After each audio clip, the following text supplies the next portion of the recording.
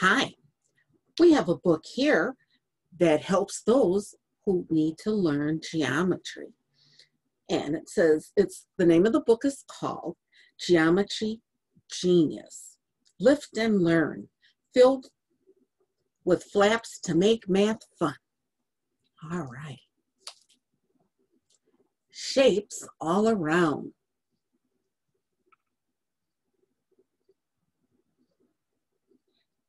Shapes are all around us. Our whole world is made up of lines and shapes. What shapes can you see around you? Let's go to the next page.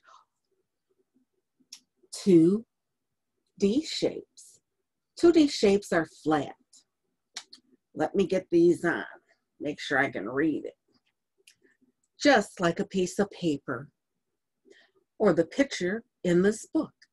There are lots of 2D shapes, but the ones shown here have names that we use in math. Look at each shape, count its edges, which are also called sides, and decide if it has square, if it has straight or curved sides, and then count the pointy corners or vertices. And what are they showing us examples of? We have a square, we have a circle, we have a triangle, rectangle, and it has descriptions of each of these, octagon, pentagon, the hexagon, semicircle. Let's see what's next. Straight shapes. Okay. Straight shape straight lines never change direction. They keep us going the same way. All shapes with completely straight sides are called polygons. For instance, rectangles and triangles are polygons. Then, of course, it goes into more details. We have more flaps here. We got tri triangles. We have rectangles. Oh, there's even more flaps here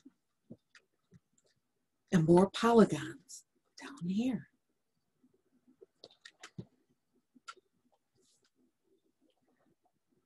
Curvy and wobbly shapes. Ooh. Any line that isn't straight is a curve. Some curved lines are wobbly and go anywhere, but others follow important rules. And here go the rules. Here go more flaps with more information. It tells us, lift the flaps to see what the mice have been drawing. Shall we look? Why not? See a diameter, radius, ooh, and explanation. Let's see what's next. Symmetry. Okay.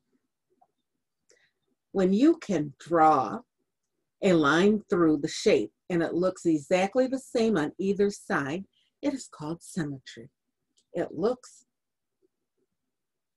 it's like you're looking in a mirror. And we have more examples down here. And what's on the other side? Oh, how many lines of symmetry are there? So now we have, as you guys can see it a little bit better.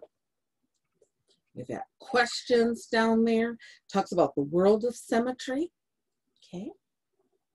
Twists and turns. Oh my. If shapes are turned, it can be hard to recognize them. A good thing we know is that when shapes are turned, they're the same shape. And here's some examples.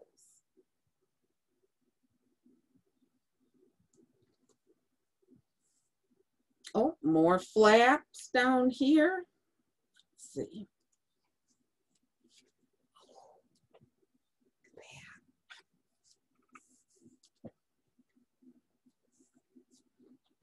3D shapes. 3D shapes are solid objects that you can pick up and hold.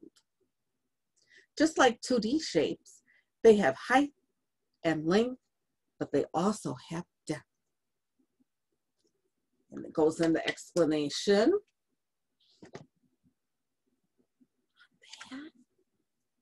Cool. Cylinder.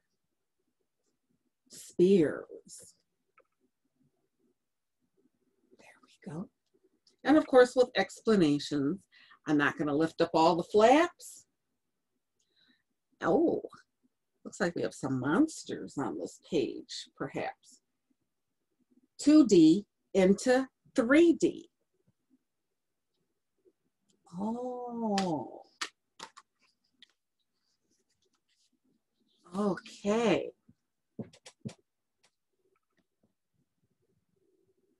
This should be cool to work with. How you're going to make a 2D into a 3D diagram here. And I think we have one more page. Ooh, they give you a quiz at the end. So, again, geometry genius. And it looks like this is a pretty good book for helping the young ones who are going to be going into learning geometry. So thank you for stopping by and um, talk to you later. Bye-bye.